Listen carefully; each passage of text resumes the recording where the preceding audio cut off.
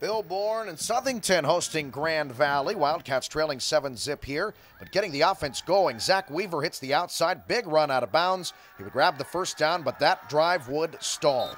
The ensuing Mustangs possession, they would add on. Matt Larned keeps it himself on the option, weaving through the defense all the way in for the touchdown. Grand Valley all over Southington, 41 0 the final. Number 10, Matt Learned in for the Mustang touchdown.